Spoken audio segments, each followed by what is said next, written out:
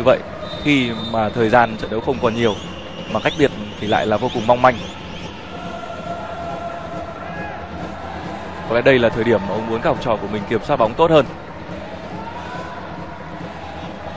Asano được chuyển tốt của Asano Tỷ số là 2-0 dành cho U23 Nhật Bản và tiếp tục là Nakajima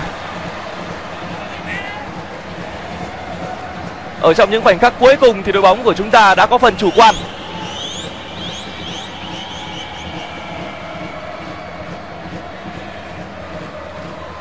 Đúng là sự tập trung luôn là một vấn đề Không thể hiểu nổi là hàng tiền vệ đã ở đâu trong pha bóng vừa rồi của Nakajima.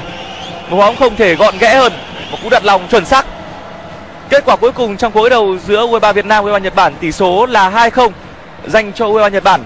Và qua đó đội bóng này sẽ có được 6 điểm và gần như là sẽ có được tấm vé đi tiếp. Một chiến thắng hoàn toàn xứng đáng cho U23 Nhật Bản ở trong trận đấu ngày hôm nay và cả hai bàn thắng của họ đều được ghi do công của cầu thủ mặc áo số 10 Nakajima. Đến đây chúng tôi xin khép lại buổi tường thuật trận đấu giữa U23 Việt Nam và U23 Nhật Bản trên hệ thống truyền hình vệ tinh K cộng.